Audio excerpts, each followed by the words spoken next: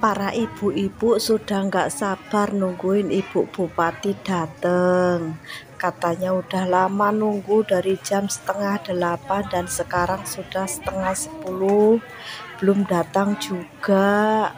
Pantatnya udah pada pegel, udah pada panas. Mana dingin juga cuacanya hujan-hujan gerimis. Jadinya udah capek nungguin bahkan ada yang belum sarapan juga udah dateng ke sekolah katanya disuruh jam setengah delapan sudah harus standby di sekolah.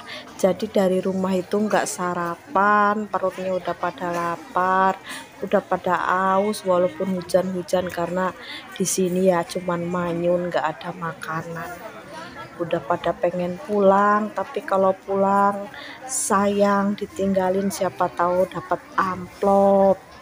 Jadi sayang mau ditinggalin dan ini sudah nungguin ya. Udah pada capek yang punya anak kecil pada nangis anaknya. Udah pada nggak sabar